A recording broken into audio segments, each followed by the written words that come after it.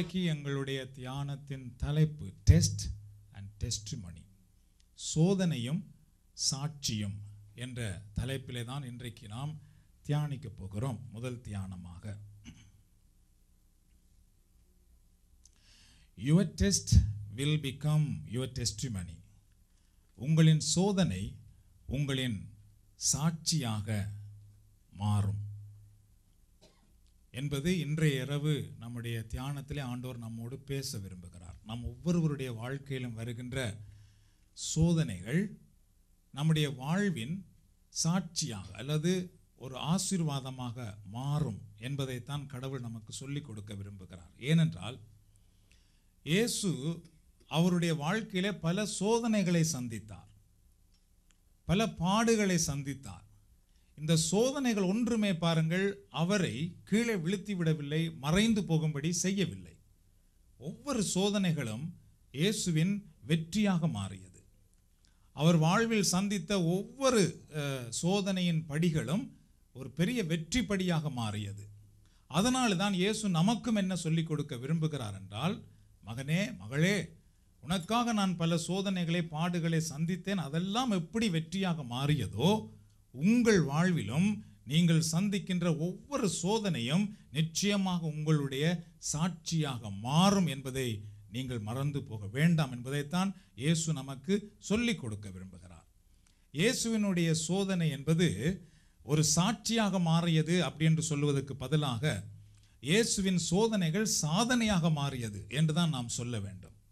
அவருடைய சோதனைகள் எல்லாம் சாதனையாக மாறியதுனாலே இன்றைக்கு நாம் சோதிக்கப்படும் பொழுது கடவுள் நமக்கு அந்த சோதனைகளை எல்லாம் சாட்சியாக மாற்றி கொடுக்கிறார். அவர் வந்து சோதனைகளை சாதனையாக்கினார். அதாவது அவர் எல்லா சோதனைகளிலும் வெற்றி கொண்டதினாலே இன்றைக்கு நாம் அந்த சோதனைகளை சந்திக்கும் பொழுது சாதனையாக்கி காட்டிய கடவுள் அந்த சோதனைகளை நமக்கு சாட்சியாக மாற்றி காட்டுவார்.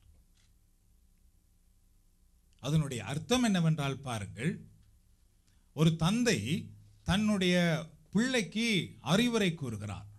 அறிவுரை கூறும் பொழுது என்ன சொல்லுகிறார் பா- பாருங்கள் நான் இதெல்லாம் பட்டிருக்கிறேன் இந்த பாடுகள் எல்லாம் சந்தித்திருக்கிறேன். அதனாலே நான் உனக்கு துணையாக இருக்கிறேன். நீ பயப்படாதே நான் உனக்கு துணையாக இருக்கிறேன் என்று சொல்லுவார்கள். ஒரு ஒரு வைத்தியர் ஒரு டாக்டர் என்ன செய்கிறார் பாருங்கள் தன் பிள்ளை டாக்டருக்காக படிக்க வேண்டும் என்று விரும்பும் பொழுது அந்த பிள்ளைக்கு எவ்வாறு வைத்தியராக வர முடியும் என்பதை காட்டி கொடுக்கிறார். ஏனென்றால் அவர் தந்தை ஒரு வைத்தியராக இருக்கிறார். தன் பிள்ளை வைத்தியராக வர வேண்டும் என்று விரும்பும் பொழுது வைத்தியத்தில் என்ன மாதிரி நீ வர வேண்டும் என்று அவரால் கற்றுக் கொடுக்க முடிகிறது. அதுபோலதான் ஒவ்வொரு ஃபீல்டிலும் நம்முடைய உலக வாழ்க்கை என்று வரும் பொழுது நாம் ஒவ்வொருவரும் வாழ்விலே பலவிதமான சோதனைகளை சந்திக்கிறோம். இந்த சோதனைகளிலே சோதனைகளை சந்தித்த நம் தந்தையாகிய இயேசு நமக்கு என்ன சொல்லுகிறார் என்றால் நான் இதெல்லாம் சாதனையாக்கினேன் என்றால் நீ சோதிக்கப்படும் பொழுது சோதனைகளை சந்திக்கும் பொழுது பிரச்சனைகளை சந்திக்கும் பொழுது வேதனைகளை கண்ணீரை கவலையை சந்திக்கும் பொழுது இனி என்னால் வாழ முடியுமா? என் வாழ்க்கையில வெற்றி வருமா? என் வாழ்க்கையில நான் எழுந்திருக்க முடியுமா? என் வாழ்க்கையில முன்னேற முடியுமா என்று நீ பயப்படாதே. நான் அதெல்லாம் வெற்றி கொண்டதனால் உன்னையும் அதிலிருந்து நான் வெற்றி கொள்ள வைப்பேன். இயேசுவோடு சாதனையை இணைத்துக் கொள்வோம் நம்மோடு சாட்சியத்தை இணைத்துக் கொள்வோம். ஏனென்றால் நம்முடைய வாழ்க்கையிலே நம்முடைய ஒவ்வொரு சோதனைகளையும் அவர் வெற்றியாக்க வைத்து அதுக்கு பின்பு நம்மை சாட்சியாக நிறுத்த விரும்புகிறார். நான் ஆண்டவரை நம்பினதனால் என் ஆண்டவர் என்னை கைவிடவில்லை. அப்படி என்று நாம் சாட்சியாக சொல்ல கடவுள் நம்மை மாற்ற விரும்புகிறார். அதனால தான் நம்முடைய சோதனைகள் நம்முடைய சாட்சியாக மாறுகிற ஒரு இரவு இந்த இரவாகும். Sometimes God will deliver you from the fire. Other times, God will make you fireproof and, and take you through the fire. சில வேளைகளில் கடவுள் உங்களை நெருப்பிலிருந்து விடுவிக்கிறார் மற்ற வேளைகளில் கடவுள் நெருப்பிலிருந்து பாதுகாக்கும் ஆடையை உங்களுக்கு அணிவித்து நெருப்பு கூடாக உங்களை வழி நடத்துகிறார் இந்த உண்மையை நாம் புரிந்து கொள்ள வேண்டும். சில நேரத்திலே நெருப்பு அணையாமலேயே இருக்கிறதே. எனக்கு முன்னால் இருக்கிற வேதனை மறையாமலேயே இருக்கிறதே. வேதனைக்கு மேலே வேதனை பெருகி கொண்டே வருகிறதே அப்படின்னு நாம் நினைக்கிறோம். இங்கு கடவுள் நமக்கு கொண்டே சொல்லுகிறார் சில நேரத்திலே அந்த நெருப்பை நான் அணைத்து விடுவேன். ஆனால் எல்லா நேரமும் அல்ல. சில நேரத்திலே அந்த நெருப்புக்குள்ளாக உன்னை நான் வழிநடத்தி உன்னை நான் சாட்சியாக நிறுத்துவேன். நெருப்புக்குள்ளாக உன்னை வழி நடத்தும் பொழுது ஒன்றை மறந்து போக வேண்டாம். உனக்கு நான் பய ப்ரூஃப் நெருப்பு நம்மை தாக்காத ஆடையை நான் உனக்கு உடுத்திக் கொள்ளுவேன். அந்த நெருப்பு எரிந்து கொண்டுதான் இருக்கும். ஆனால் அது உன்மேல் பற்றாது. உன் குடும்பத்தின் மேல் பற்றாது. உன் வாழ்க்கையில் அது பற்றாது. நெருப்பு எரிந்து கொண்டே இருக்கும். ஆனால் அதற்குள்ளாக நான் உன்னை வழி நடத்தி கொண்டு வந்து உன்னை சாட்சியாக இயேசு சிலுவையில் இருக்கும் பொழுது அவருடைய சீடர்கள் அவர் மேல் அன்பா இருந்தவர்கள் ஏன்? அவரை சிலுவையில் அறைந்தவர்கள் கூட என்ன நினைத்தார்கள் தெரியுமா? அவர் சிலுவையில் இருந்து வந்து விடுவார் சிலுவையிலிருந்து வெளியே வந்து விடுவார் என்று எண்ணிக்கொண்டிருந்தார்கள். இயேசு வரவே இல்லை. சீடர்கள் கூட அவர் சிலுவையிலே மறித்தவுடனே அவர்கள் எல்லாரும் துக்கப்பட்டார்கள். ஐயோ இயேசு சிலுவையிலிருந்து தன்னுடைய வல்லமையை காட்டி வெளியே வந்து விடுவார் என்று நினைத்தோம். அவர் மறித்து போய் விட்டாரே மறித்து போய் விட்டாரே என்றுதான் எண்ணினார்கள். இயேசு அந்த மரணத்துக்குள்ளாக போய் உயிர்ப்பை நமக்கு காட்டினார். எல்லா நேரமும் அல்ல இயேசுவை சில இடங்களிலே பிடிக்க வந்தார்கள் இயேசுவை பிடிக்க முடியாமல் போய்விட்டது அவர் மறைந்து விட்டார். கடைசி நேரம் அவர் தன்னையே ஒப்பு கொடுக்கிறார் ஒப்பு கொடுத்ததினாலே தான் அவர்களால் இவரை கைது செய்ய முடிகிறது. மரணமே அவர் வாழ்க்கையிலே வந்தாலும் அவர் வெற்றி பெற்றார். கல்லறைக்கு கொண்டு போகும் பொழுது கூட அங்கிருந்தவர்கள் நினைத்திருப்பார்கள் இயேசு அப்படியே ஏதாவது செய்து விடுவாரா செய்து விடுவாரான்னு இல்லை. கல்லறையிலே அடக்கம் பண்ணினார்கள். அந்த மரணத்துக்குள்ளாக போன இயேசு உயிர் தெழுந்தார் என்றால் இன்றைக்கு நானும் நீங்களும் அது போன்ற நெருப்புக்குள்ளாக போகும் பொழுது இயேசு நம்மை கைவிட மாட்டார். அவர் நமக்கு ஃபயர் ப்ரூஃப் நெருப்பு நம்மை தாக்காத ஆடை அணிவிக்கிறவர். இது யாரால் கொடுக்க முடியும் என்றால் கடவுளால் மட்டும்தான் கொடுக்க முடியும். அதனால தான் பாருங்கள் இந்த உலகத்திலே நாம் முன்னேறுவதற்காக பாடுபட வேண்டும். பணம் நமக்கு தேவை அறிவு நமக்கு தேவை பொருள் நமக்கு தேவை அந்தஸ்து நமக்கு தேவை உடலிலே ஆற்றல் தேவை சக்தி தேவை. ஆனால் அவைகளால் மட்டும் நம்முடைய உள்ளத்தை சமாதானப்படுத்தி விட முடியாது. அதை நாம் அறிந்து கொள்ள வேண்டும். நம்மிடத்தில் இருக்கிற பணம் கூட சில நேரம் நாம் வேதனைக்குள்ளாலே போகும் பொழுது உதவி செய்ய முடியாமல் போய்விடுகிறது. நம்மிடத்தில் இருக்கிற ஆற்றல் நம்மிடத்தில் இருக்கிற அறிவு நம்மை சூழ்ந்திருக்கிற எத்தனையோ உறவுகள் நண்பர்கள் கூட நாம் வேதனைக்குள்ளாக போகும் பொழுது அவர்களால் ஒன்றும் செய்ய முடியாமல் கைவிரித்து விடுகிறார்கள். ஆனால் கடவுளை யார் நம்புகிறார்களோ அவர்களோடு எது இருந்தாலும் சரி எது இல்லாமல் போனாலும் சரி அவர்கள் வேதனைக்குள்ளாக போகும் பொழுது கடவுள் அவர்களோடு இருந்து அந்த வேதனை அவர்களை பற்றாதபடி காத்து விடுதலையாக்கி அவர்களை சாட்சியாக நிறுத்த ஆண்டவர் வல்லவராக இருக்கிறார். அலையிலுயா கரங்களை தட்டி ஆண்டவருக்கு நன்றி கூறுவோம். பரிசுத்த வேதாகமத்தில் இருக்கிற ஒரு சம்பவத்தை பாருங்கள். எல்லோருக்கும் தெரிந்த சம்பவம் தான் இருப்பினும் அதிலே சில வார்த்தைகளை சுட்டிக்காட்ட நான் விரும்புகிறேன். தானியலின் நூல் மூன்றாம் அதிகாரம் பதினைந்தாவது வசனத்தில் இருந்து தானியல் மூன்று பதினைந்தாவது வசனத்தில் இருந்து இந்த சம்பவம் நான் சுருக்கமாய் சொல்லுகிறேன் முதல்ல. மூன்று எபிரைய வாலிபர்கள். இந்த எபிரேய வாலிபர்கள் பிதாவாகிய தந்தையை நம்பின வணங்குகிற மக்கள். இவர்கள் பபிலோனுக்கு நாடு கடத்தப்பட்டு வந்தார்கள். பபிலோனில் வேற தெய்வ வணக்கங்கள் இருக்கிறது. பபிலோ பபிலோனிய தெய்வ சாரி பபிலோனிய நாட்டு அரசன் என்ன செய்கிறார் என்றால் தன்னை போல ஒரு பெரிய சுருவத்தை உருவத்தை செய்து வைத்து அதை வணங்க வேண்டும் அப்படின்னு சொல்லுகிறார். ஏன் அதை வணங்க வேண்டும் அப்படின்னு சொல்லுகிறார் என்றால் எப்பொழுது அவன் அவருடைய அந்த சிலையை வணங்குகிறார்களோ அப்பொழுது அவர்கள் அவருக்கு கீழே வந்து விடுகிறார்கள் அவருடைய ஆளுமைக்குள் இருக்கிறார்கள் என்று அர்த்தமாகி விடுகிறது. இந்த எபிரிய வாலிபர்கள் சொல்லுகிறார்கள் நாங்கள் உமக்கு என்ன வேலை செய்ய வேண்டுமென்றால் நாங்கள் செய்வோம். ஆனால் எங்கள் கடவுளை மட்டும்தான் நாங்கள் வணங்குவோம். அப்படி என்று சொன்னார். எங்கள் கடவுளை மட்டும்தான் நாங்கள் வணங்குவோம். கடவுள் வணக்கத்திலிருந்து கடவுள் நம்பிக்கையிலிருந்து நாங்கள் ஒருபோதும் திசை திரும்ப மாட்டோம். உமக்கு என்ன வேலை செய்ய வேண்டுமோ நாங்கள் செய்வோம். ஆனால் கடவுள் நம்பிக்கையில் இருந்து மட்டும் நம்மை பிரிக்க முடியாது என்று சொன்னார்கள். அவர்களுக்கு என்ன சொல்லப்பட்டதென்றால் நீங்கள் இந்த சிலையை வணங்கவில்லை என்றால் உங்களை கொண்டு போய் நாங்கள் நெருப்புக்குள்ளே போடப் போகிறோம். அவர்கள் சொன்னார்கள் பரவாயில்லை. நெருப்பிலே போட்டால் கூட எங்கள் ஆண்டவர் நெருப்பிலிருந்தும் விடுவிப்பார். அப்படி விடுவிக்காமல் போனாலும் நாங்கள் கடவுளுக்காக சாவோமே தவிர கடவுள் நம்பிக்கையிலிருந்து நாங்கள் ஒருபோதும் விடுபட மாட்டோம். இதுதான் இன்று இரவு நாம் அறிந்து கொள்ள வேண்டிய முக்கியமான ஒரு செய்தி. நமக்கு உயர்வு வரட்டும் நமக்கு தாழ்வு வரட்டும். ஒருபோதும் கடவுள் நம்பிக்கையில் இருந்து மட்டும் நாம் ஒருபோதும் விலகி விடக்கூடாது இந்த எபிரேய வாலிபர்கள் அவர்கள் இருந்த இடம் வந்து அரச மாளிகையில் இருந்தார்கள். அவர்களுக்கு அரசர் சாப்பிடுகிற உணவெல்லாம் கொடுக்கப்பட்டது. அரசர் அருந்துகிற பானமெல்லாம் கொடுக்கப்பட்டது. சுகமான வாழ்வு இருந்தது. இருப்பினும் பாருங்கள் அவர்கள் கடவுள் நம்பிக்கையை விட்டுவிடவில்லை. இந்த சுகமான வாழ்வு நமக்கு இருந்தாலும் சரி சுகமான வாழ்வு இல்லாமல் போனாலும் சரி கடவுள் நம்பிக்கையிலிருந்து நாங்கள் விலக மாட்டோம். அதுக்கு ஆண்டவரிடத்திலிருந்து நம்மை பிரிக்கவே முடியாது என்றார்கள். சொல்லப்பட்டது நெருப்பிலே போடும். சரி அந்த சம்பவத்தை வேதாகமத்திலிருந்து சில வசனங்கள் வழியாக நாம் இப்பொழுது பார்க்க போகிறோம். மூன்றாம் அதிகாரம் பதினைந்தாவது வசனம் பாருங்கள்.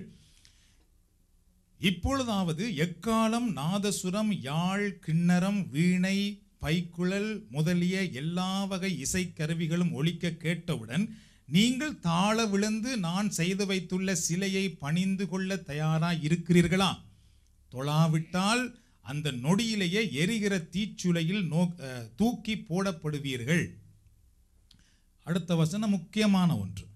உங்களை என் கையிலிருந்து தப்புவிக்கக்கூடிய தெய்வம் ஒன்று உண்டோ என்றான் அரசன். இதெல்லாரும் இப்பொழுது சொல்ல போகிறோம். உங்களை என் கையிலிருந்து தப்புவிக்கக்கூடிய தெய்வம் ஒன்று உண்டோ? இந்த கேள்வி எபிரேய வாலிபர்களுக்கு பார்த்து அந்த அரசர் கேட்கிறார். உங்களை என் கையிலேருந்து தப்புவிக்க எந்த தெய்வத்தினாலும் முடியுமா? நீங்கள் நம்புகிற தெய்வத்தினால் அது முடியுமா? அப்படி என்று கேட்கிறார். இதுதான் நாம் எல்லாருக்கும் வருகிற ஒரு சேலஞ்ச் நாம் கடவுளை நம்பி இருக்கும் பொழுது அந்த நம்பிக்கையிலிருந்து எங்களை யாராலும் எதனாலும் பிரிக்க முடியுமா? அப்படி என்று நாம் எல்லோருக்கும் வருகிற ஒரு சேலஞ்ச் சரி என்ன நடக்கிறது பாருங்கள். இருபத்தி ஓராவது வசனம் பாருங்கள். அவ்வாறே அந்த வீரர்கள் அவர்களை மேற்போர்வையோடும் சி- கவனித்து பாருங்கள் மேற்போர்வையோடும் உள் ஆடையோடும் தலப்பாகையோடும் மற்ற ஆடைகளோடும் சேர்த்து கட்டி எல்லாரும் சொல்லுவோமா சேர்த்து கட்டி. அவர்களே அப்படியே உடுப்போடு கை காலெல்லாம் கட்டி என்ன செய்கிறார்களாம் நெருப்பிலே எரியும் தீச்சூளைக்குள் தூக்கி போட்டார்கள். மு- இருபத்தி ரெண்டாவது வசனத்திலே கடைசி போதி பாருங்கள். தூக்கி சென்றவர்களையே அத்தீப்புழம்பு சுட்டெரித்து கொன்றதாம். தூக்கி கொண்டு போனவர்களை எறிய போனவர்களையே அந்த தீ வந்து சுட்டு எரித்து விட்டது. தீக்குள்ளேயே போகவில்லை அவர்கள். ஏன்னா ஏழு மடங்கு அந்த தீயை பெரிதாக்கி கொண்டு போனவர்கள் செத்து போயிருக்கிறார்கள். ஆனால் இவர்களுக்கு நடந்த சம்பவம் இருபத்தி ஐந்தாவது வசனம் பாருங்கள். இவர்கள் தீச்சூளைக்குள்ளே போட்டப்பட்ட உடனே நடந்த சம்பவம் அதற்கு அவன் கட்டவிழ்க்கப்பட்டவர்களாய் நெருப்பின் நடுவில் நான்கு பேர் உலா உலாவுறதை நான் காண்கிறேன். அந்த அரசன் என்ன காண்கிறாராம் பாருங்கள். எல்லாரும் சொல்லுவோமா? கட்டவிழ்க்கப்பட்டவர்களாய். அவ்வளவுதான். எல்லாரும் ஒரு கரங்களை தட்டி ஆண்டவருக்கு நன்றி கூறுவோமா? ஏன் தெரியுமா? தீச்சூளைக்கிளை அவர்களை கட்டி போட்டார்கள். தீச்சூளைக்கிளை விழுந்தவர்கள் கட்ட அவிழ்க்கப்பட்டிருக்கிறார்களே தவிர தீயினால் சுடப்படவில்லை அவர்கள். தீச்சூளைக்கிளே போடப்பட்டவர்கள் கட்டவிழ்க்கப்பட்டு ஃப்ரீயா நிற்கிறார்களே தவிர தீயினால் அவர்கள் தாக்கப்படவில்லை. அப்படியே என்ன கீழே வாசிக்கிறோம் பாருங்கள். நெருப்பின் நடுவில் நான்கு பேர் உலாவுறதை நான் காண்கிறேன். அவர்களுக்கோ ஒரு தீங்கும் நேரவில்லை. மேலும் நான்காவது ஆள் தெய்வ மகன் ஒருவன் போல் தோன்றுகிறாரே என்றானாம். இது தெய்வ மகன் அப்படி என்று வேதாகமத்திலே சொல்லப்பட்டிருப்பதனால் இது இயேசுவாக இருக்கும் என்றது பழைய ஏற்பாட்டின் காலம். இயேசு உலகம் உண்டாக முன்பே இருக்கிறார். அவரை உலக உண்டாக்கினார் என்று யோவான் எழுதுகிறார். இந்த சூழலிலே இயேசுதான் அவர்களோடு இருந்தாரோ என்று சொல்லுகிற வேத வல்லுனர்கள் கூட இருக்கிறார்கள். சரி எது எதுவாக இருந்தாலும் நாம் இப்பொழுது ஒன்றை அறிந்து கொள்வோம். நாம் நம் நம்முடைய வாழ்க்கையிலே சில சோதனைகள் வரும் பொழுது அந்த சோதனை என்கிற நெருப்பை நமக்காக கடவுள் அணைத்தும் போடுவார். சில நேரத்தில் அணைக்காமல் அந்த நெருப்புக்குள்ளாகவும் கொண்டு போய் நம்மை சாட்சியாக நிறுத்த நாம் இயேசு வல்லவராக இருக்கிறார். இந்த எபிரேய வாலிபர்களை கொண்டு போய் தீயிலே போட்ட பொழுது நாம் அறிந்து கொள்கிறோம் பாருங்கள் அவர்கள் கட்டவிழ்க்கப்பட்டு நின்றார்களே தவிர நெருப்பு அவர்களை சுடவில்லை. கடவுளை நம்புகிற மக்கள் ஒன்றை அறிந்து கொள்ள வேண்டும். நாம் எப்பொழுது சோதனைகளையும் வேதனைகளையும் சந்திக்கிறோமோ அந்த சோதனைகள் வேதனைகள் ஒவ்வொன்றும் நம்முடைய வாழ்க்கையிலே உயர்வையும் வெற்றியையும் வாழ்வையும் தருமே தவிர அவைகள் ஒன்றும் நம்மை அழித்து போட கடவுள் விடமாட்டார். ஏனென்றால் இயேசு நமக்காக பல பாடுகளை பட்டு சிலுவை மரணத்தின் வழியாக அவர் உயிர்த்தெழுந்ததினாலே அவர் உயிரோடு இருக்கிறதுனாலே யாரெல்லாம் இப்பொழுது அவரை நம்புகிறார்களோ அவர் அடைந்த வெற்றியை நமக்கும் கொடுக்க அவர் வல்லவராக இருக்கிறார். கரங்களை தட்டி நாம் ஆண்டோருக்கு நன்றி கூறுவோம். அதனாலே நாம் ஒன்றை அறிந்து கொள்ளுவோம். எல்லோருக்கும் வேதனைகள் வருகிறது. உலகத்தில் எல்லாருக்கும் துன்பங்கள் வருகிறது. நம்முடைய வாழ்க்கையிலும் துன்பங்கள் வரட்டும். பரவாயில்லை. இந்த துன்பங்கள் ஒவ்வொன்றையும் நமக்கு கடவுள் சாட்சியாக மாற்றி காட்ட விரும்புகிறார். நான் ஒரு காலத்தில் இவ்வளவு வேதனையில் இருந்தேன். என் இயேசுவை நான் நம்பினேன். இயேசு என் வேதனையிலிருந்து விடுவித்தார். என் வாழ்க்கையிலே எழும்பவே முடியாதபடி நான் விழுந்து கிடந்தேன். என் இயேசு என்னை தூக்கி விட்டார் என் வாழ்க்கையில் ஒரு பெரிய நோய் வந்து நான் மிகவும் மனமுடைந்து பயந்து போயிருந்தேன். இயேசுவோ என்னை குணமாக்கினார். என் வாழ்க்கையிலே இருளில் இருந்த பொழுது இயேசு எனக்கு ஒளியை தந்தார். அப்படி நாம் சொல்லும் பொழுது அது கடவுளுடைய நாமத்தின் மகிமையாக மாறிவிடுகிறது. நெருப்பிலிருந்து விடுதலை அடையும் பொழுது நாம் என்ன ஆகிறோம் பாருங்கள். You are coming out stronger increased promoted and without smelling like smoke நாம் அந்த வேதனையால் இருந்து வெளியே வந்து சாட்சி பகர வந்து நிற்கும் பொழுது என்ன மாதிரி வருகிறோம் என்று சொன்னால் புகை மனம் இல்லாமலும் பதவி உயர்வு பெற்றவர்களாகவும் ஆதரவு பெற்றவர்களாகவும் வலிவடைந்தவர்களாகவும் நாம் வெளியே வருகிறோம். எவரே வாலிபர்களுக்கு அதான் நடந்தது. கொண்டு போய் உள்ளே போட்டார்கள் அவர்கள் வெளியே வரும் பொழுது அவர்களுக்கென்று பதவி உயர்வு காத்திருந்தது. அவர்கள் வணங்குகிற கடவுள் தான் உண்மை கடவுள் என்று அறிவிப்பதற்கு ஒரு கார ஒரு ஒரு எக்காலம் முழங்குவதற்கு காத்திருந்தது. இவர்கள் நம்பின கடவுள் இவர்களை கைவிடவில்லை என்று பெரிய சாட்சி முழங்குவதற்கு ஒரு ஆசீர்வாதம் காத்திருந்தது. வெளியே வந்தார்கள். திருமறை என்ன சொல்லுகிறது பாருங்கள். அதை ஒரு தடவை தானியல் மூன்றாம் அதிகாரத்திலே இருபத்தி ஏழாவது வசனத்திலிருந்து பாருங்கள். சிற்றரசர்களும் அதிகாரிகளும் ஆளுநரும் அரசனுக்கு அறுவரை கூறுவரும் கூடி வந்து அந்த மனிதர்களின் உடலில் தீப்பட்ட அடையாளமே இல்லாமலும் அவர்களது தலைமுடி கருகாமலும் அவர்களுடைய ஆடைகள் தீப்பற்றாமலும் நெருப்பின் புகை நாற்றம் அவர்களிடம் வீசாமலும் இருப்பதை கண்டார்கள். இது முதலாவது விட்னஸ். அவரோடு இருக்கிறவர்கள் அவர்களிடத்திலிருந்து ஒரு சாட்சியை பார்த்தார்கள். அதனால தான் சொல்லுகிறேன் எங்கள் வேதனையை ஆண்டவர் எங்களுடைய சாட்சியாக மாற்றுவார். நாம் நெருப்பிலே தள்ளப்பட்டு விட்டோம் என்று நம்முடைய எதிராளிகள் பார்த்து சிரிக்கலாம் சந்தோஷப்படலாம். கடவுளை நம்பின நம்மை கடவுள் மீண்டும் கொண்டு வந்து நிறுத்தி அவர்கள் எல்லாரும் பார்த்து ஆச்சரியப்படத்தக்க விதமாக அவரால் சாட்சியாக நிறுத்த முடிகிறது. இவர்கள் வெளியே வந்தவுடனே ஒரு தலைமுடி கூட பொசுங்கவில்லையாம். ஆனால் கொண்டு போய் எரி எறிய போனவர்களையே பொசுக்கி மறித்து போயிருக்கிறார்கள். இவர்களுக்கு ஒரு தலைமுக தலைமுடி கூட பொசுங்க கடவுள் விடவில்லை அல்லவா? அந்த கடவுள் இன்றைக்கு நம்மோடு இருக்கிறார். அலையிலுயா நாம் அவரை நம்பிக்கையுடன் இந்த இடத்திலே வந்திருக்கிறோம். நம்முடைய தலைமுடியை பொசுங்க விடாமல் காக்க நம்முடைய ஆண்டவரால் முடியும். நெருப்பிலே தள்ளப்பட்டாலும் நெருப்புக்குள்ளே கூட நமக்கு ஃபயர் ரூப் ஃபயர் ப்ரூஃபை கடவுள் நமக்கு கொடுப்பார். அது உன்னை ஒன்றும் செய்யாது மகனே என்று. கீழே என்ன வாசிக்கிறோம் பாருங்க இருபத்தி ஒன்பதாவது வசனம். ஆதலால் சாத்ராக் மேசாக் ஆபெத்னேகோ ஆகியோரின் கடவுளுக்கு எதிராக பழிச்சொல் கூறும் எந்த இனத்தவனும் எந்த நாட்டவனும் எந்த மொழியினவனும் கண்டு கண்ட துண்டமாக வெட்டப்படுவான் பார்த்தீர்களா வெளியே வந்தவுடனே சொல்லப்படுகிறது. முதல்ல என்ன சொன்னார்கள் தெரியுமா? நெருப்பிலே போட்டால் எந்த கடவுளாலும் காப்பாற்ற முடியுமா? அப்படின்னு தான் கேட்டார்கள். இங்கு சாட்சி என்ன மாதிரி உருவாகிறது பாருங்கள். வேதனை சாட்சியாக என்ன மாதிரி மாறுகிறது என்றால் நெருப்பிலே போட்டாலும் காத்து கொள்ளுகிறவர்கள் தான் இவர்கள் நம்புகிற கடவுள். அப்படின்னு சாட்சியாக மாறுகிறது. அடுத்து கீழே என்ன சொல்லப்படுகிறது பாருங்கள் அவனுடைய வீடும் தரைமட்டமாக்கப்படும். இதுவே என் ஆணை. ஏனெனில் இவ்வண்ணமாய் மீட்கின்ற ஆற்றல் படைத்த கடவுள் வேறு எவரும் இல்லை என்றான். எல்லாரும் சொல்லுவோமா? இவ்வண்ணமாய் மீட்கின்ற ஆற்றல் படைத்த கடவுள் வேறு எவரும் இல்லை என்றான். இந்த வசனத்தை யார் சொல்றது தெரியுமா? அந்த அரசன் தான். உன்னை நெருப்பிலே போட்டால் உங்களை காக்க எந்த கடவுளாலும் முடியுமா? அப்படின்னு கேட்ட அரசரை இப்பொழுது சாட்சி பகிர்கிறாள். அவர்களை பற்றி இவர்கள் நம்புகிற கடவுள் தான் நெருப்பிலிருந்து கூட விடுதலையாக்குவார் முப்பதாவது வசனம். பிறகு அரசன் சாத்ராக்கு மேசாக்கு ஆபேத்னேகோ ஆகியோருக்கு பபிலோனின் மாநிலங்களில் எல்லாரும் சொல்லுவோமா? பபிலோனின் மாநிலங்களில் பெரும் பதவி அளித்து சிறப்பு செய்தான்.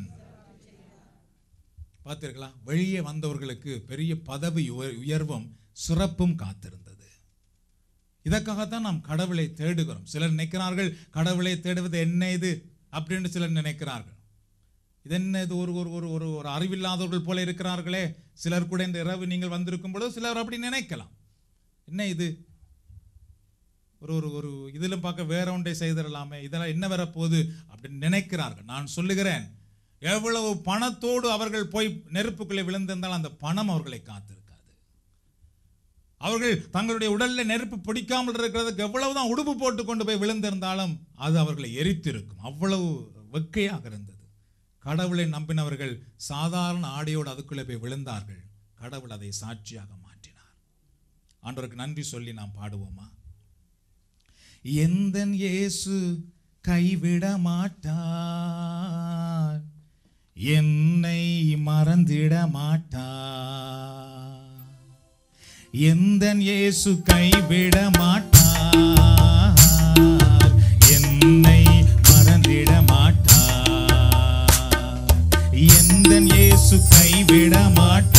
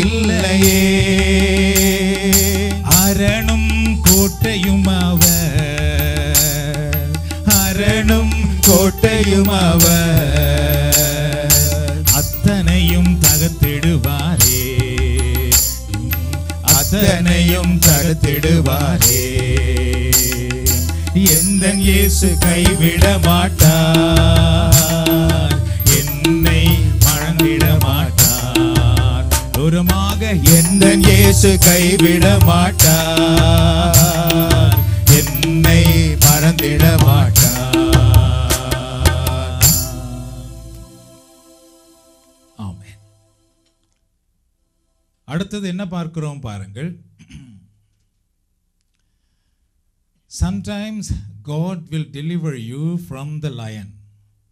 Other times god will make you lion proof and take you through the lion.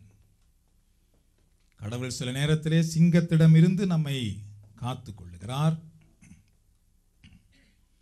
சில நேரத்திலே சிங்கங்களின் ஊடாக நம்மை வழி நடத்துகிறார்.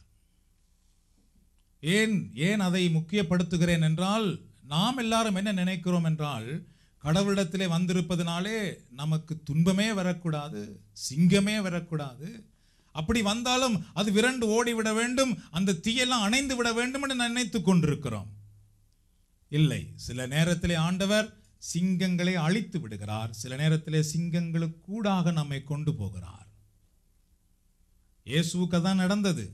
இயேசுவை அடித்தவர்களை இயேசுவை துன்புறுத்துறவர்களை இயேசுவால் அழித்திருக்க முடியாதா? முடியும்.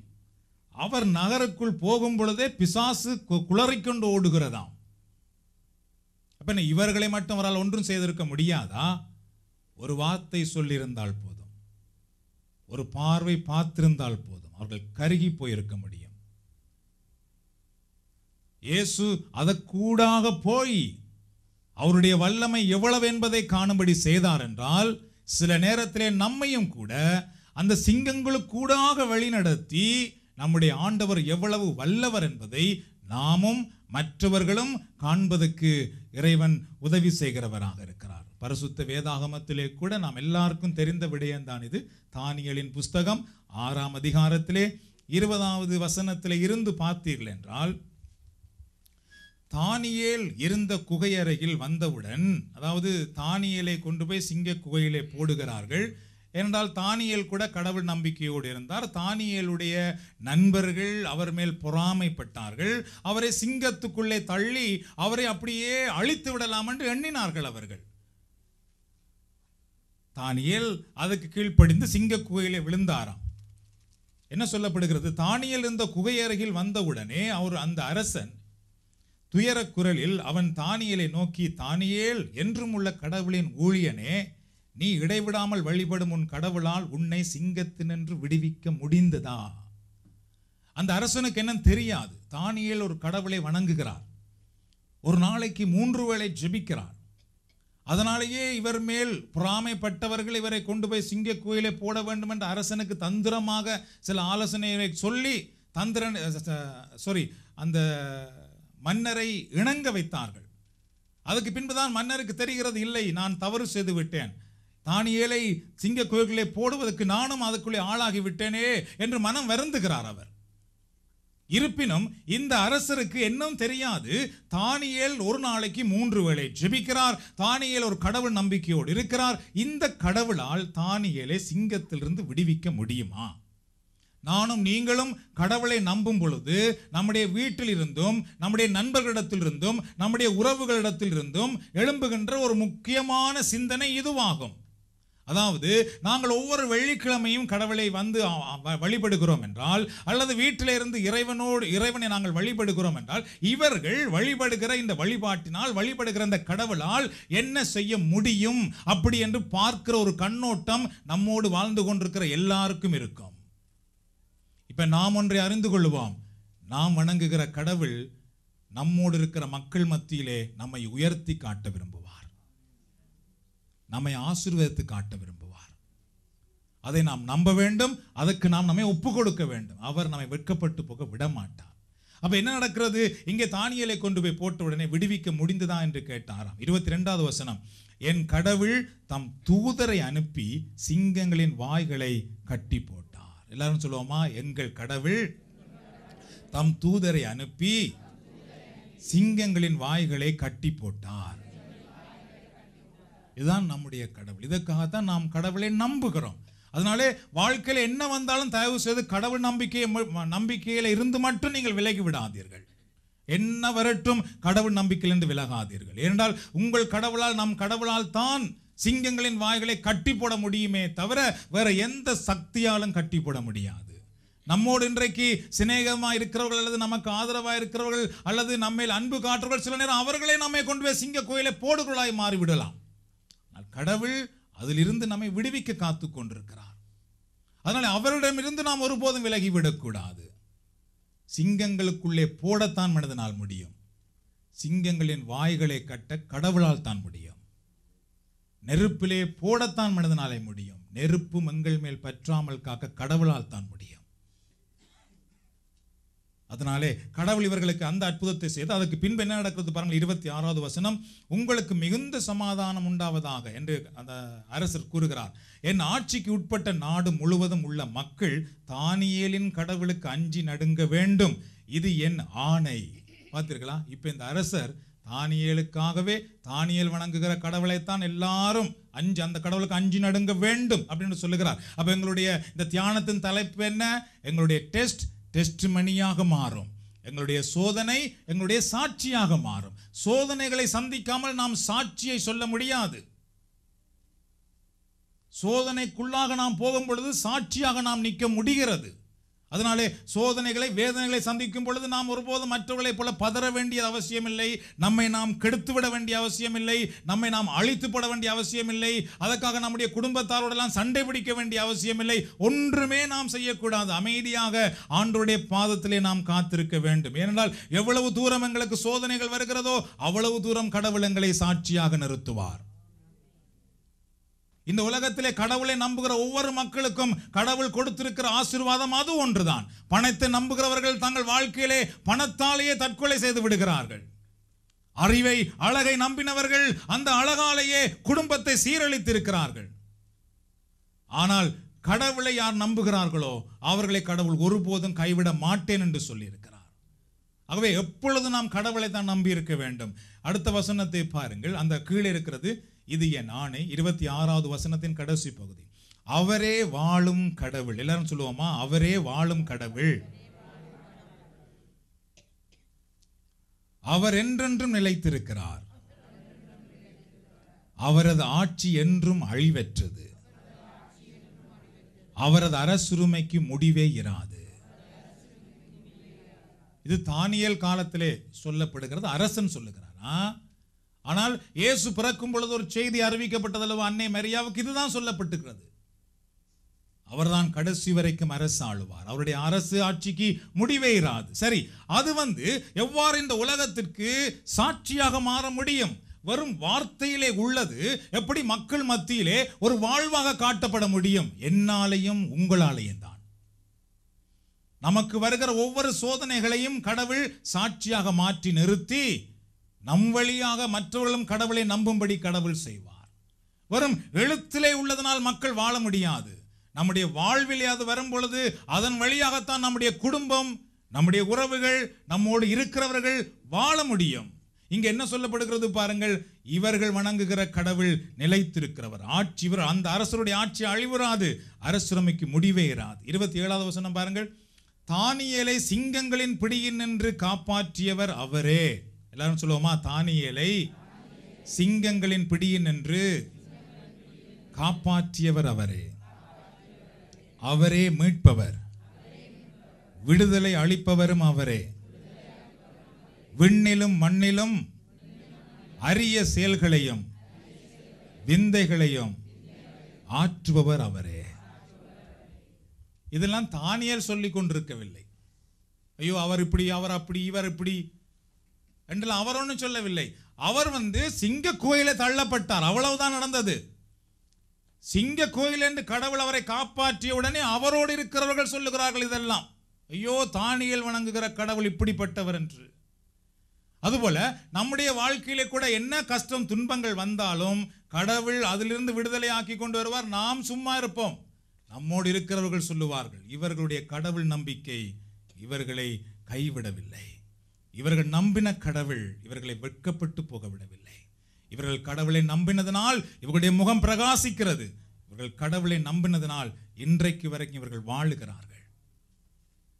இதைத்தான் கடவுள் செய்ய விரும்புகிறார். என்னவோ கடவுள் கடவுள் என்று போனாயே உனக்கு என்ன நடந்தது? கடவுள் கடவுள் என்று சொல்லுகிறாயே கடவுள் உனக்கு என்ன செய்தார்? அப்படின்னு யாரும் கேட்க கடவுள் விட மாட்டார் இயேசு என்ன சொன்னார் என்றால் என் தந்தை அவருடைய மாட்சியை வரும் அஹ், வெறும் விக்கிரங்களுக்கு கொடுக்க மாட்டார். அவரை நம்புகிறவர்களுக்கு கொடுப்பார் என்று இயேசு சொன்னார்.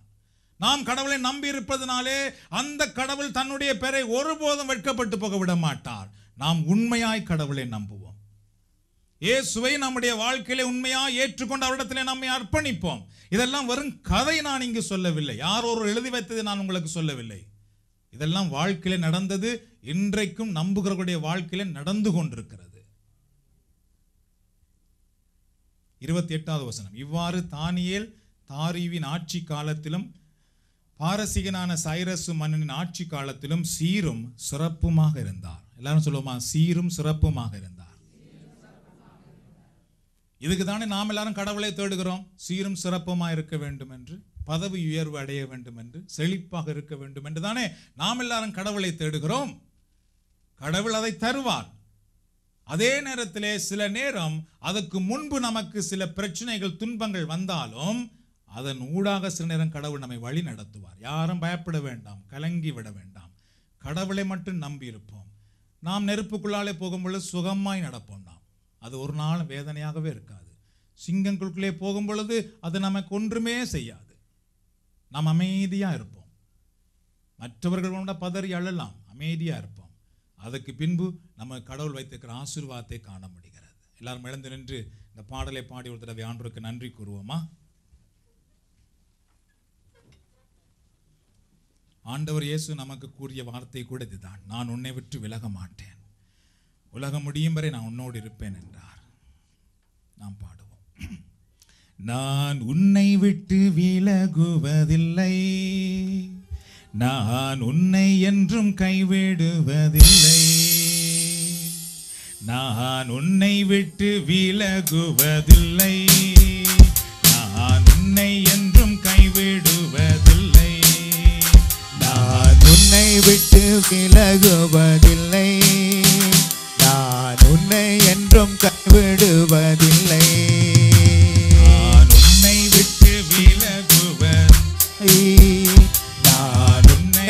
என்றும் கைவிடுவதில்லை. நான் உன்னை காண்கின்ற தேவன் கண்மணி போல் உன்னை காப்பேன். நான் உன்னை காண்கின்ற தேவன் கண்மணி போல் உன்னை காப்பேன். நான் உன்னை விட்டு விலகுவதில்லை. என்னை என்றும் கைவிடுவதில்லை. நான் உன்னை விட்டு விலகுவதில்லை. நான் உன்னை என்றும் கைவிடுவதில்லை. பயப்படாதே நீ மனமே. நான் காத்திடுவேன் உன்னை தினமே. பயப்படாதே நீ மனமே. நான் காத்து உன்னை தினமே. அற்புதங்கள் நான் செய்திடுவேன். அற்புதங்கள் நான் செய்துவேன். உன்னை அதிசயமாய் நான் நடத்திடுவேன். உன்னை அதிசயமாய் நான் நடத்திடுவேன். நான் உன்னை விட்டு விலகுவதில்லை. உன்னை என்றும் கைவிடுவதில்லை. நான் உன்னை விட்டு விலகுவதில்லை. நான் உன்னை என்றும் கைவிடுவதில்லை. திகையாதே கலங்காதே மனமே. நான் உன்னோடு இருக்க பயமே. தீகையாதே கலங்காதே மனமே. நான் உன்னோடு இருக்க பயமே. கண்ணீர் யாவையும் துடைத்திடுவேன். கண்ணீர் யாவையும் துடைத்திடுவேன். உன் கவலைகள் யாவையும் போக்கிடுவேன். உன் கவலைகள் யாவையும் போக்கிடுவேன். நான் உன்னை விட்டு விலகுவதில்லை. உன்னை என்றும் கைவிடுவதில்லை. நான் உன்னை விட்டு விலகுவதில்லை. நான் உன்னை என்றும் கைவிடுவதில்லை.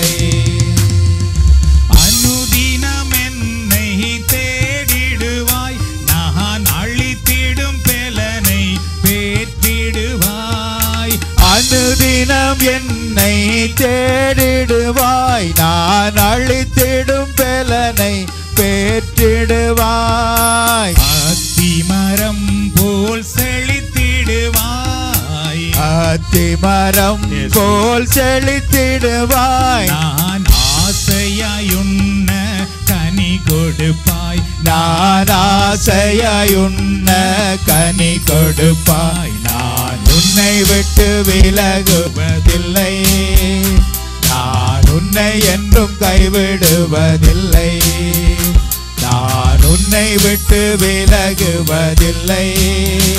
நான் உன்னை என்றும் கைவிடுவதில்லை. நான் உன்னை காண்கின்ற தேவன் கண்மணி போல் உன்னை காப்பேன். நான் உன்னை காண்கின்ற தேவன் மணி போல் உன்னை காப்பேன். நான் உன்னை விட்டு விலகுவதில்லை. நான் உன்னை என்றும் கைவிடுவதில்லை. நான் உன்னை விட்டு விலகுவதில்லை. நான் உன்னை என்றும் கைவிடுவதில்லை. எல்லாரும் கரங்களை தட்டி ஆண்டவருக்கு நன்றி கூறுவோமா? ஆமே நம்ம அமைதியாக எங்களுடைய சோதனைகளை எங்களுடைய சாட்சியாக மாற்றுகிறவர் நம்முடைய ஆண்டவர். சோதனைகளை சந்திக்கும் பொழுது நாம் தளர்ந்து போகாமல் கடவுள் அதை சாட்சியாக மாற்றுவார் என்ற நம்பிக்கையோடு இருப்போம். என்ன கஷ்டம் வந்தாலும் இதை என் ஆண்டவர் எனக்கு சாட்சியாக மாற்றுவார். இந்த நோயை சுகமாக்கி என்னை சாட்சி கூறும்படி செய்வார். இந்த கஷ்டத்தை நீக்கி எனக்கு சாட்சி நான் சாட்சி கூறும்படி கடவுள் சொல்லுவார். செய்வார் என்ற நம்பிக்கையோடு இருப்போம். சென்ற வாரம் சென்ற ஆண்டு நடந்த இந்த திருவிழிப்பு ஆராதனையிலே ஒரு சகோதரர் முதல் முதலாக பங்கு பெற்றினார். அவரை அன்று தான் நான் கண்டேன். இந்த திருவிழிப்பு கூட்டத்தில் அன்றைக்கு தான் அவரை கண்டேன். அதுக்கு பின்பு ஒரு இடத்தில் என்னை காணும் பொழுது அவருக்காக மன்றாடும்படி கேட்டார். அவருக்கு ஒரு பெரிய பிரச்சனையாக இருக்கிறது. அதற்காக மன்றாடும்படி கேட்டிருந்தார். கிட்டத்தட்ட ஒரு ஆண்டு காலமாக சில நேரத்திலே தொலைபேசியில் தொடர்பு கொள்வார் செபிக்கும்படி கேட்பார். பிரச்சனை அதிகரித்து கொண்டே வருகிறது ஜெபம் பண்ணுங்கள் பிரதர் அப்படி என்றுவார். நானும் அவருக்காக தொலைபேசியில் ஜெபிப்பேன். கிட்டத்தட்ட ஒரு ஒரு மூன்று வாரங்களுக்கு முன்பு கூட தொலைபேசியில் தொடர்பு கொண்டு ஜெபம் பண்ணும்படி கேட்டார். பிரச்சனை அதிகமாகி வந்து கொண்டிருக்கிறது என்று அப்பொழுது மட்டும்தான் அவரிடத்தில் கேட்டேன். சரி என்ன உங்களுக்கு என்ன பிரச்சனை? அப்படி என்று சுருக்கமாக சில விஷயத்தை சொன்னார். சரி அதற்காக நாம் ஜெபிப்போம். அந்த நேரத்திலே கூட அந்த ஜெப நேரத்திலே கூட தூய் ஆவியானவர் உள்ளத்திலே ஒரு நம்பிக்கையை தந்தார். ஒரு நம்பிக்கையோடு ஜெபத்தை கேட்கிறார். கட்டாயமாக கடவுள் கைவிட மாட்டார் என்று. ஒரு ஆண்டு காலமாக அந்த ஒரு முக்கியமான விடயத்துக்காக ஜெபம் பண்ணும் பொழுது மனம் சோர்ந்து போய்விடும். அதற்கு பின்பு ஒரு வாரம் கழித்து அவர் தொலைபேசியிலே தொடர்பு கொண்டார்.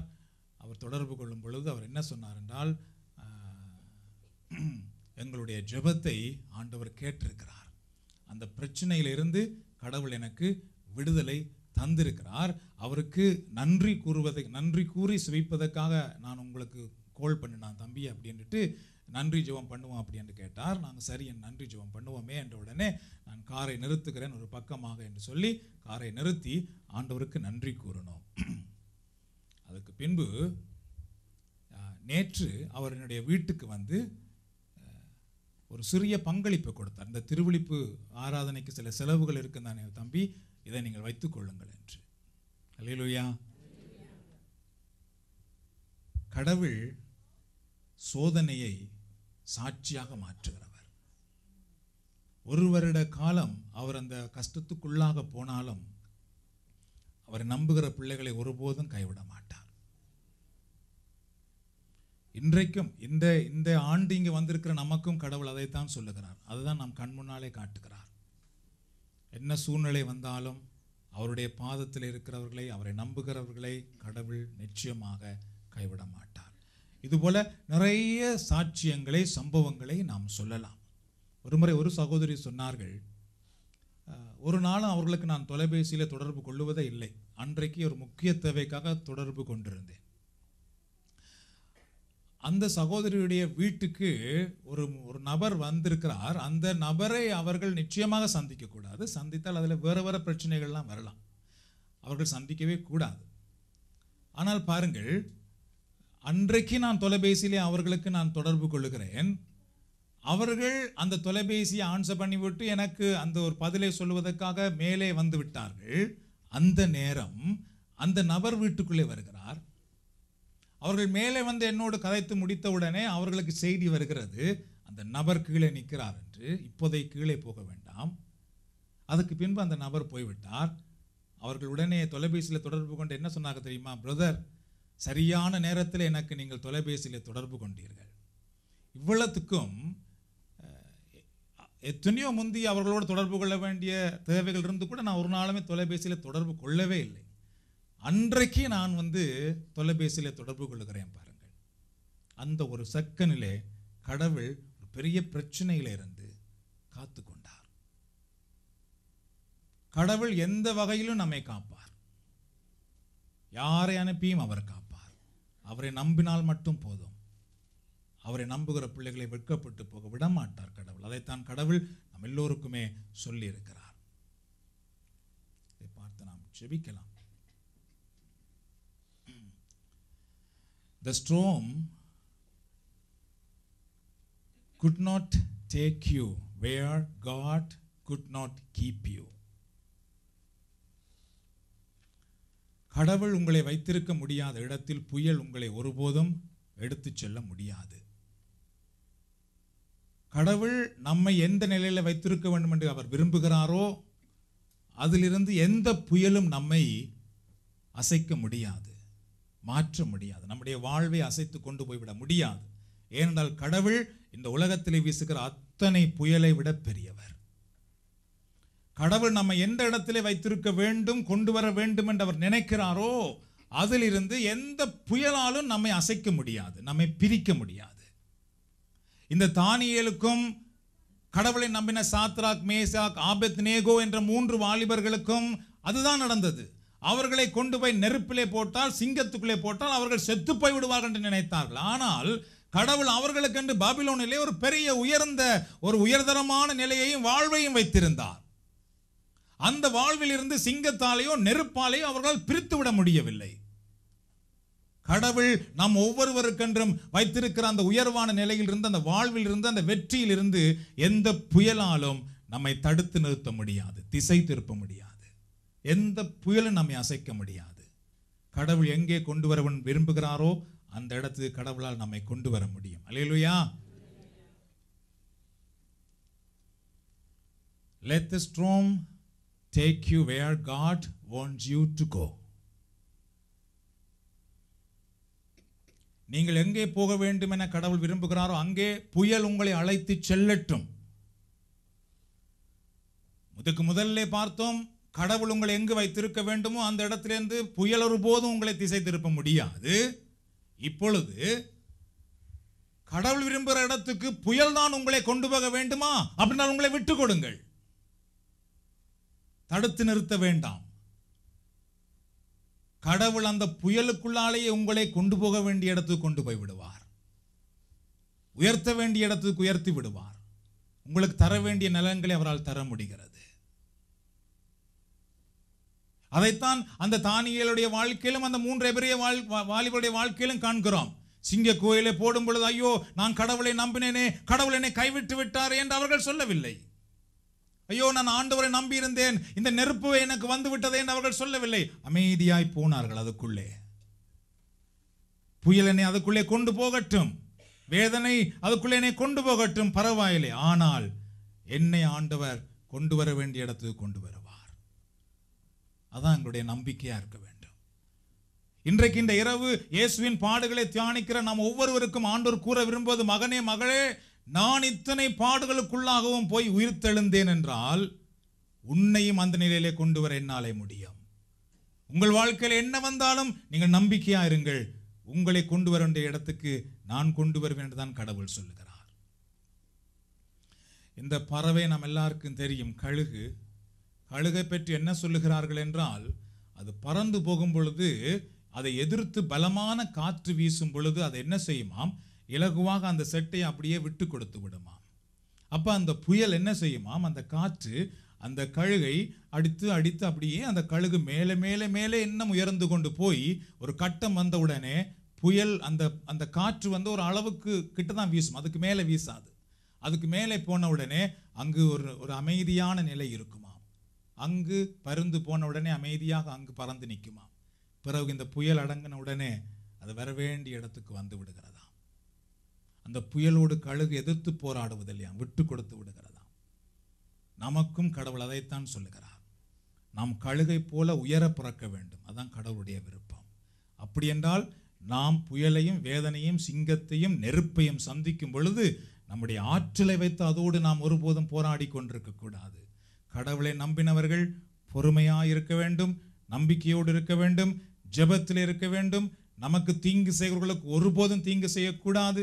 நம்ம எதிர்த்து பேசுகிறவர்களை திருப்பி எதிர்த்து பேசி கொண்டிருக்க கூடாது.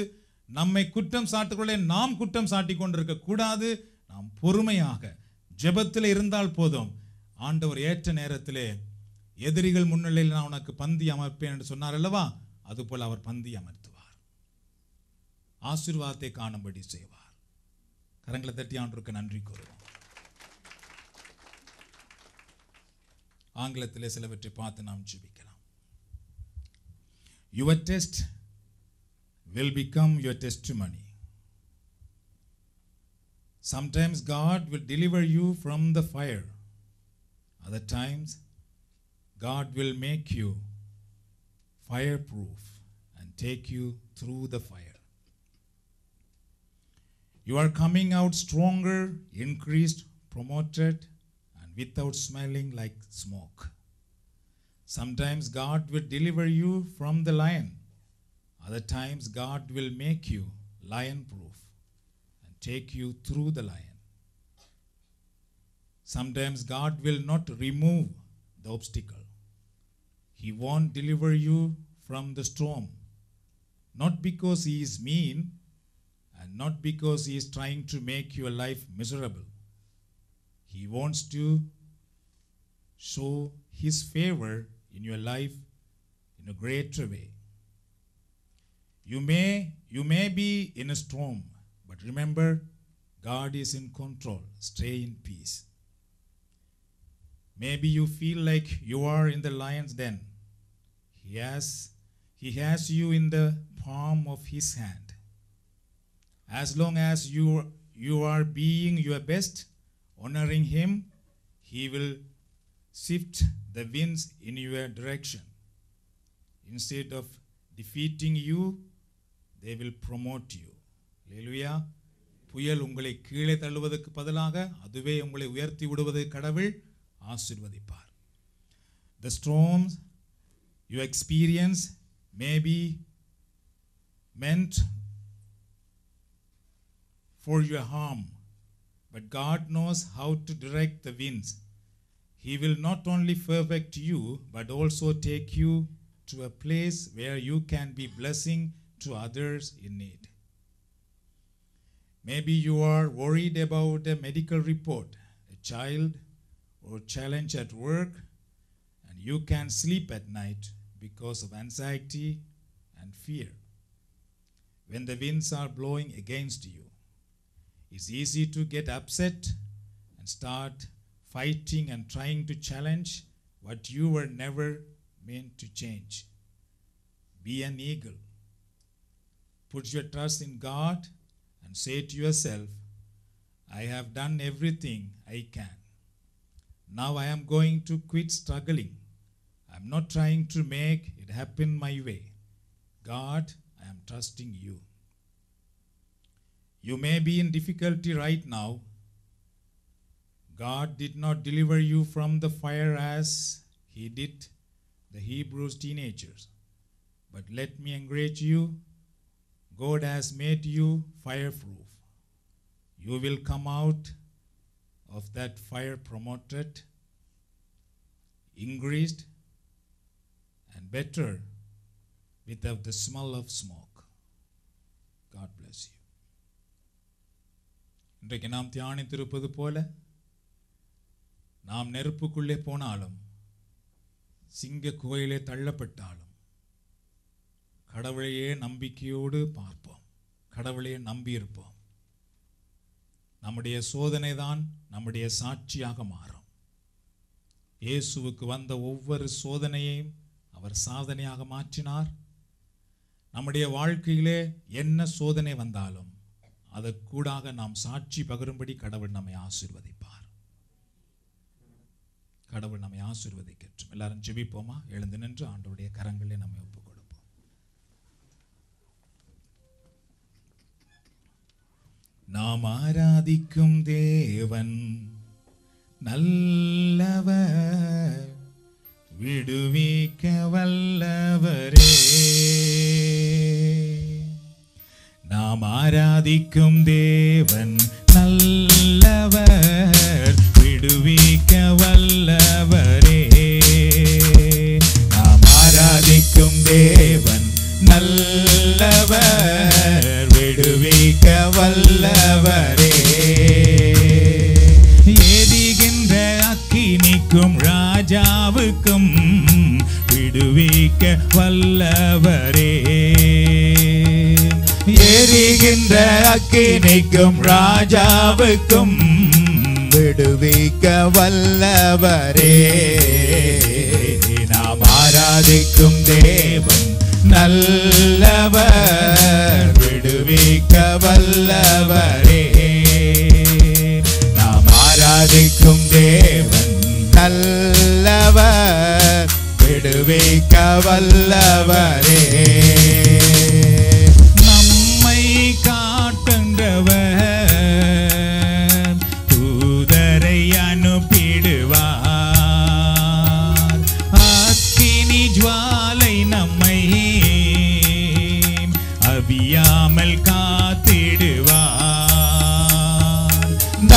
நம்மை காக்கின்றவர். தூதரை அனுப்பிடுவார்.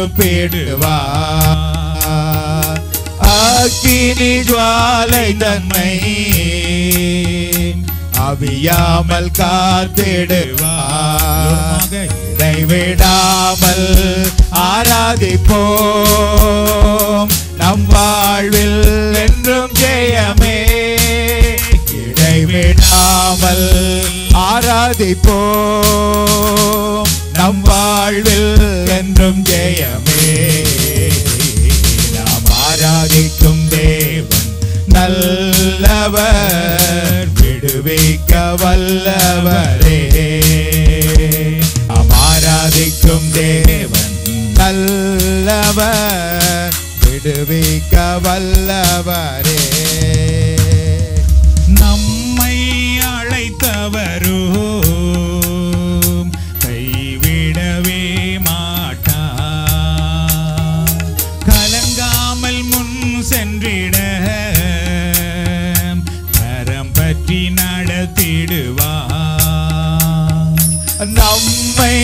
அழைத்தவரோ? கைவிடவே மாட்டா. கலங்காமல் முன் சென்றிட. கரம் பற்றி நடத்திடுவா. இடைவிடாமல் ஆராதிப்போம். நம் வாழ்வில் என்றும் ஜெயமே. இடைவிடாமல் ஆராதிப்போம் நம் வாழ்வில் என்றும் ஜெயமே. நாம் ஆராதிக்கும் தேவன் நல்லவர் விடுவிக்க வல்லவரே நாம் ஆராதிக்கும் தேவன் நல்லவர் விடுவிக்க வல்லவரே சத்துருவின் கோட்டைகளை தகர்த்திட உதவி செய்வார். தயங்காமல் முன் சென்றிட தாங்கியே நடத்திடுவார். சத்துருவின் கோட்டைகளை தகர்த்திட உதவி செய்வார். தயங்காமல் முன் சென்றிட. தாங்கியே நடத்திடுவார். இடைவிடாமல் ஆராதிப்போம். நம் வாழ்வில் என்றும் ஜெயமே. இடைவிடாமல் ஆராதிப்போம். நம் வாழ்வில் என்றும் ஜெயமே. நல்லவர் விடுவிக்க வல்லவரே. நாம் ஆராதிக்கும் தேவன் நல்லவர் விடுவிக்க வல்லவரே. இயேசுவே அம்மை போற்றுகிறோம். இரட்சகரே அம்மை போற்றுகிறோம். எங்களை விடுதலையாக்குகிறவரே அம்மை போற்று. இப்பொழுது ஜெப நேரம். இவ்வளவு நேரம் ஆண்டவர் எங்களுக்கு என்ன செய்வார் என்ன செய்வார் ஆண்டவரால் என்ன செய்ய முடியும் என்பதை நாம் கேட்டோம். இப்பொழுது ஆண்டவர் நமக்குள்ளே செயலாற்றுகிற ஒரு நேரமாகும். இப்பொழுது ஆண்டவர் நமக்கு என்ன செய்கிறார் என்பதை நாம் காணப்போகிறோம் அதை நம்முடைய சாட்சியாக நாம் சொல்லப் போகிறோம்.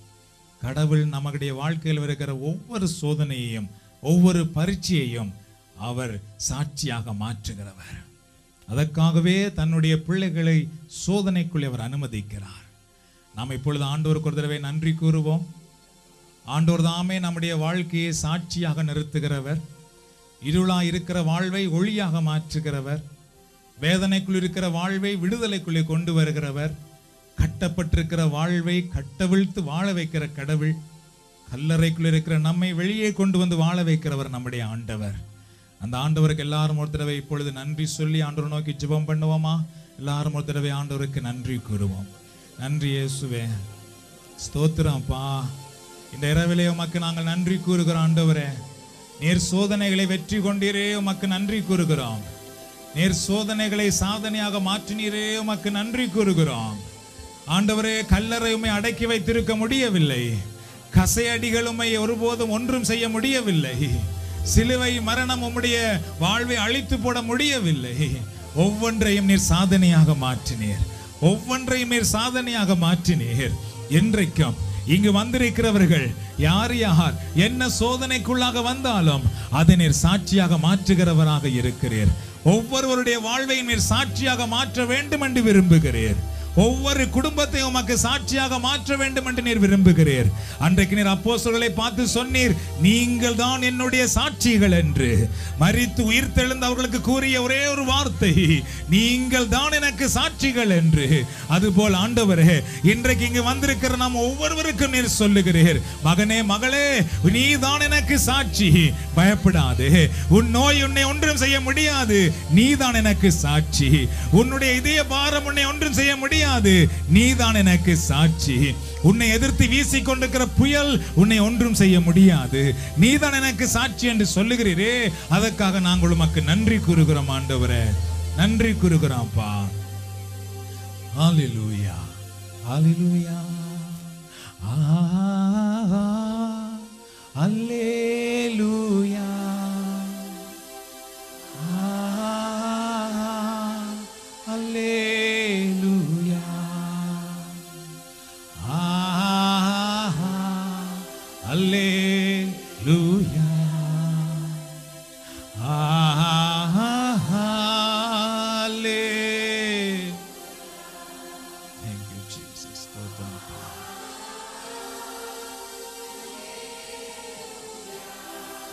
நம்முடைய கண் முன்னால் உயிரோடு எழுந்த இயேசுவையே பார்ப்போம்.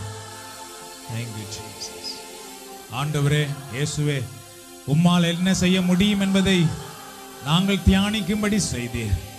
இப்பொழுது இங்கு வந்திருக்கிற ஒவ்வொருவருடைய வாழ்விலும் நீர் உம்முடைய அற்புத செயலை செய்யும்படி நான் மன்றாடுகிறேன் அப்பா. அன்றைக்கு அப்போஸ்தலர்கள் ஜெபம் பண்ணிய பொழுது கரங்களை விரித்த பொழுது நீர் அற்புதம் செய்தீர். கரங்களை நோயாளிகள் மேல் வைத்த பொழுது நோய்கள் சுகமடைந்தது. பிசாசுகள் ஓடியது. மறித்தவர்கள் உயிர்த்தெழுந்தார்கள். முடக்குவாதமுற்றவர்கள் எழுந்து நடந்தார்கள். ஆண்டவரே இந்த நேரத்திலும் அந்த அற்புதங்கள் நடப்பதாக.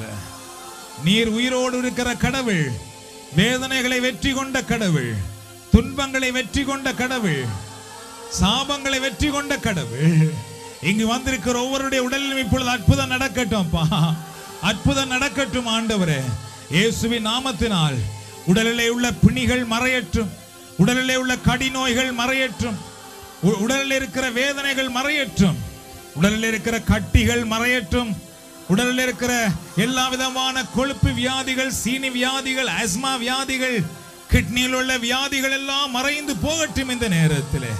இயேசு இந்த இரவிலே என்னை சுகமாக்கினார் என்று உடைய பிள்ளைகள் சாட்சி பகரட்டாம்ப்பா.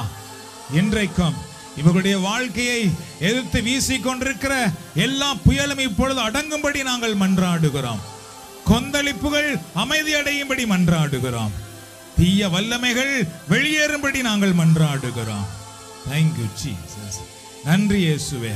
இங்கு வந்திருக்கிற ஒவ்வொருவருக்காகவும் நீர் அற்புதம் செய்திரலாம் இங்க வந்திருக்கிற ஒவ்வொரு பிள்ளைகளுடைய வாழ்விலும் அற்புதம் நடக்கட்டும் இங்க வந்திருக்கிற ஒவ்வொருடைய குடும்பங்களுடைய குடும்பங்களிலும் அற்புதம் நடக்கட்டும் இந்த இரவு முழுவதும் உம்முடைய வல்லமையை உம்முடைய பிள்ளைகள் உணர்வார்களாக.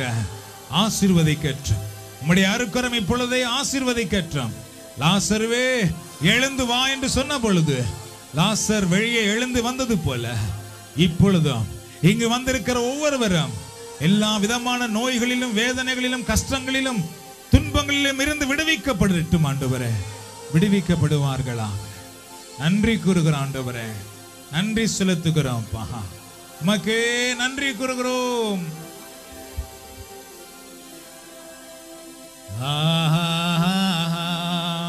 அல்லே லூயா மீண்டும் ஒரு தடவை எல்லாரும் ஆண்டவருக்கு நன்றி கூறுவோமா நன்றி இயேசுவே ஸ்தோத்திரம்ப்பா உமக்கே நன்றி கூறுகிறோம் நீர் வல்லவர் நல்லவர். எங்கள் ஜெபங்களை கேட்டுக்கொண்டிருக்கிறீர். எங்கள் ஜெபங்களுக்கு பதில் தந்து கொண்டிருக்கிறீர். இங்க வந்திருக்கிற ஒவ்வொருவரும் நீர் ஆசீர்வதித்துக் கொண்டிருக்கிறீர். தானியலை விடுதலையாக்கினது போல சாத்ராக் மேசாக் ஆபத் நேகோவை நெருப்பிலிருந்து விடுதலையாக்கியது போல இன்றைக்கு உம்முடைய பிள்ளைகள் இந்த இடத்திலே விடுதலையை பெற்றுக் கொண்டிருப்பதற்காக நன்றி கூறுகிறோம். ஹalleluya பெலனும் மரணுமென் கேடகமும் ரட்சிப்புமானவரே பாடி புகழ்ந்து நான் போற்றிடுவேன் உம்மையே பெலனும் அரணும் என் கேடகமும் ரட்சிப்புமானவரே பாடி புகழ்ந்து நான் போற்றிடுவேன் உம்மையே என் ஏகோவா ஷம்மா. என்னோடு என்றும் நீ. என் ஏகோவா நிசி. என் ஜெய கொடி நீ. என் ஏகோவா ராப்பா என் பரிகாரி நீ. என் ஏகோவா ஷாலோம். என் சமாதானம் நீ. தேவன் சகாயர் எனக்கு. எவருக்கு மஞ்சிடேனே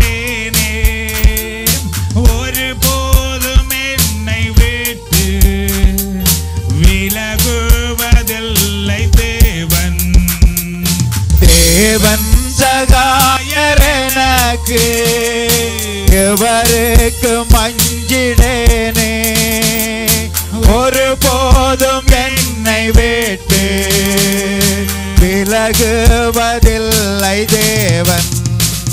என் ஏகுவா ஷம்மா என்னோடு என்றும் நீ. என் ஏகுவா நிசி என் ஜெய கொடி நீ. என் ஏகுவா ராப்பா. என் பரிகாரி நீ. என் ஏகுவா ஷாலோம் என் சமாதானம் நீ. உம்மையை நம்பும் எனக்கு. நீத்திய கண்மலை நீ. உம்மையை நோக்கிடும் நான். வெட்கமடைவதில்லை. உம்மாயை நம்பும் எனக்கு. நித்திய கண்மலை நீ. உம்மாயை நோக்கிடும் நான். வெட்கமடைவதில்லை. ஏகுவா ஷம்மா என்னோடு என்றும் நீ. என் ஏகுவா நிசி. என் ஜெய கொடி நீ. என் ஏகுவா ராப்பா. என் பரிகாரி நீ. என் ஏகுவா ஷாலோம். என் சமாதானம் நீ. வெள்ளனும் மரணும் என் கேடகமும் ரட்சிப்புமானவரே. பாடி புகழ்ந்து நான் போற்றிடுவேன் உம்மையே. எல்லனும் மரணும் என் கேடகமும் ரட்சிப்புமானவரே. பாடி புகழ்ந்து நான் போற்றிடுவேன் உம்மையே.